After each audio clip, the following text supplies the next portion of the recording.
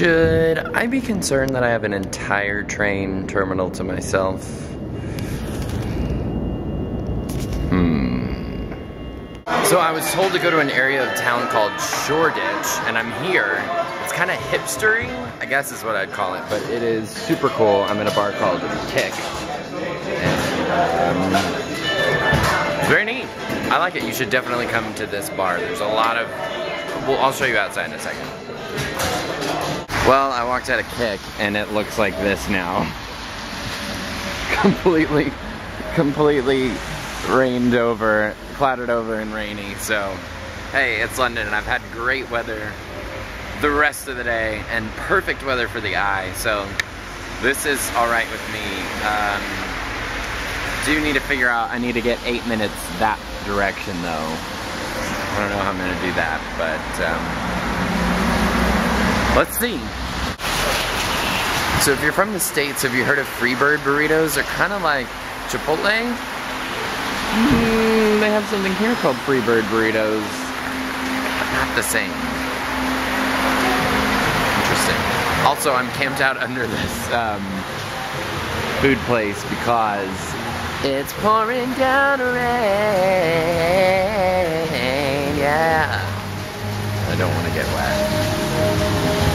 Alright, so I made it to an area called Box Park, and there are, it's a bunch of stores and shops that are in uh, shipping containers. So you can see it goes all the way down. It's raining, so I'm not gonna film a lot, but you get the idea, look it up. It really is beautiful here and so cool. There's so many shops and really nice clothing stores that I could never afford, but um, I even kind of like the rain now that it's calmed down a little bit. Okay, so Shoreditch is really cool, and I'm sure all these buildings mean something. They they look maybe like dormitories for school. I don't know. I'm gonna look it up when I get home. Or if you know. Oh yeah, Rochelle Street School. Boys. Okay, so this is a school area. I don't know if it's still active or not, but um, if you know, you can definitely leave a comment in the comment section or I'll just look it up when I get home, but really, really, really, really, really cool. Goodness gracious, I've made it to Harrods. We're inside, I've heard there's something pretty cool. Okay, I get it now. People kept saying that I should go to Harrods, and I thought that it was just like a department store, like at home, like Macy's. This is like an entire shopping mall with a whole restaurant, group of restaurants. Oh, this is nuts. And like the most expensive stuff in the entire world. I just gasped walking in here to this chocolate candy store. Whoa.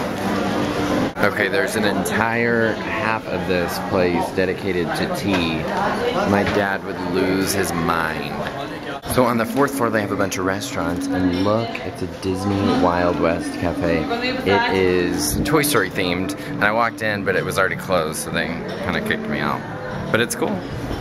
What? They have a Bibbidi Bobbidi boutique like in the parks but at Harrods. Amazing. They even have a Disney store. that is so crazy and cool. I have no business being somewhere this cool. None.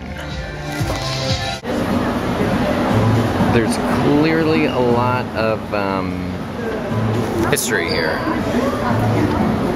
Guys, I'm real tired. I'm real tired. I've been out all day today. Oh, this is the biggest store I've ever been in. I don't particularly care for department stores, but um, I'm supposed to be here and I'm enjoying it. I'm having fun. No, I am. It, it's it's insane. It's it's overwhelming. It's like the British Museum, but uh, everything you buy. Um, so. All right, now for the last thing I'm gonna do on this trip, touristy, I'm going into a bar called the Sky Pod Bar.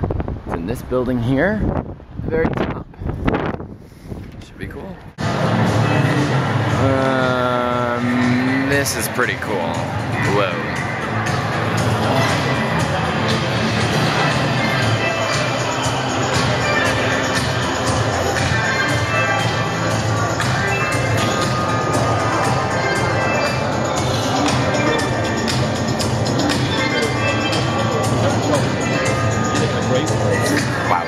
Okay, this really was the perfect way to end the trip. You can literally see the entire city from here. So if you look over there, there's Tower of London and the bridge. And then on the other side is the London Eye. I'll get a better view of it in a second, but you can see it over there. And there's this beautiful garden. It's called Sky Garden. And this bar is called Sky Pod. And then there's restaurants up here too. All right, I've come to the other side and now if you look out these windows, you can see London Eye out there. In the distance, right in the middle, and everywhere else. Whew. What a trip. Well, I took my final train ride here to the airport and my London trip is coming to a close. It has been a great time in the city. Um, for a first trip, I got so much done, as I hope you could see, and everyone was super nice, and there's still a lot left to do. So I'll have to come back, but I hope you enjoyed coming along with me, and you know, leave a comment of what I should do next time or the next city I should go to. Maybe we'll see if that happens. Thanks for watching, everybody. Bye-bye.